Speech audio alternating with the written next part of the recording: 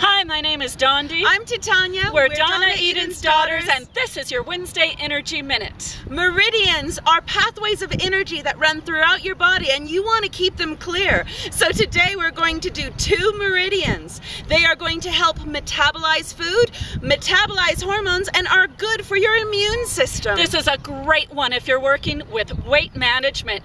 We are going to connect up the meridians of triple warmer and spleen. Let's do it with Titanya. She's coming to her temples, she's going behind her ears, down to her shoulders, crossing her arms, smoothing down her arms, releasing, and coming to just below her breasts going down the outsides of the legs, down around the feet to the insides, insides of the legs, up to the armpits, and then down to the rib cage and thumping for energy. From Boulder Bay in Big Bear Lake, California. Until next week. Bye bye.